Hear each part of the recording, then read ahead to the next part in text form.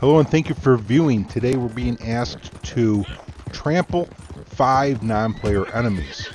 And you can see as I was riding by that guy on the horse, I gave him a swat. He's turned red on my radar. That now makes him an enemy.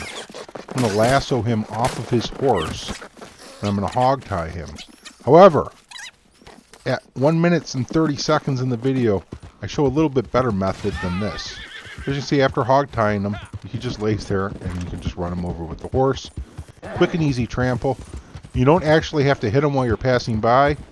You can just get your lasso out, cut them off so they can't pass, and start spinning it at them. And eventually it will tick them off. They'll turn red dot. And as soon as they do, you just toss the lasso, pull them off the horse. Again, I'm going to get off and lasso this guy unnecessarily.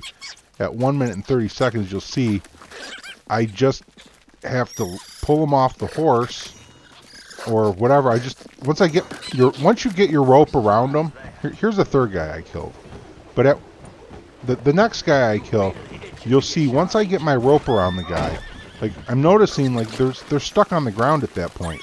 So you don't even need to get off your horse and trample them.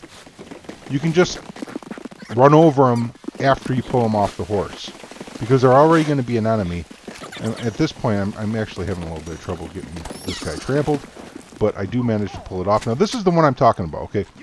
Ignore what happens at first with this guy, because he's actually going to run up on me and pull me off my horse, and he wants to fist fight, which I'm not trying to do that. I just want to trample you, dude. So, now see, watch.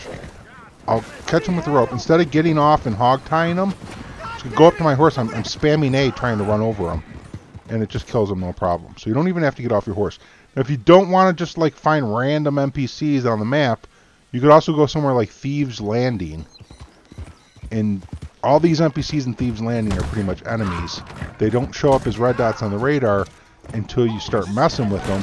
But as you can see there, I just ran over one. He wasn't a red dot, and it gave me my fifth kill to trample. So hope this helps you out get this done quick and easy. Thank you for viewing, subscribing, thumbs up, and sharing, especially for joining. I'll catch you all next time. Until then, happy hunting and happy trails.